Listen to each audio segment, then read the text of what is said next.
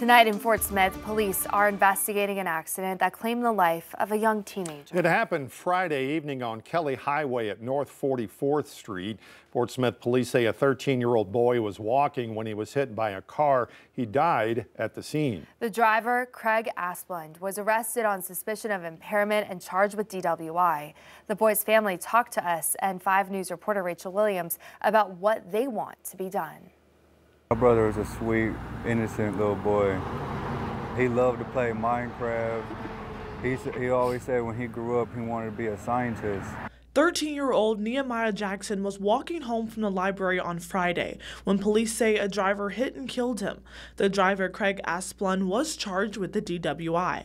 My brother was just a normal, innocent child who barely turned 13 not that long ago.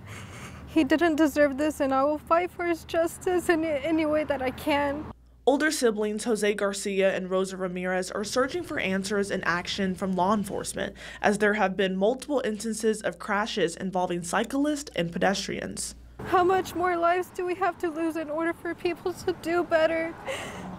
This is not the first time this has happened to a child at Fort Smith. Why not say around school areas a couple hours out of your shift to make sure the kids get home safe.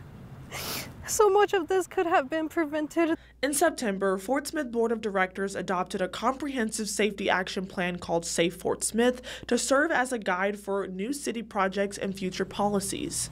The uh, safety action plan actually outlines all of those hot spots, like what are the areas where um, those accidents are occurring more frequently.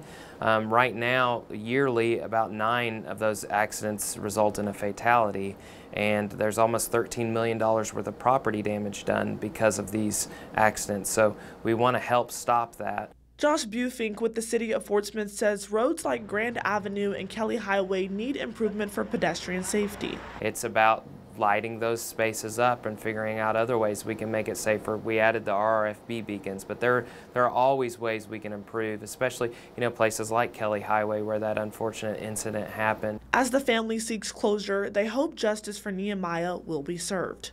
Something inside me is just, it's too soon, but I hope that I could later on forgive him for what he did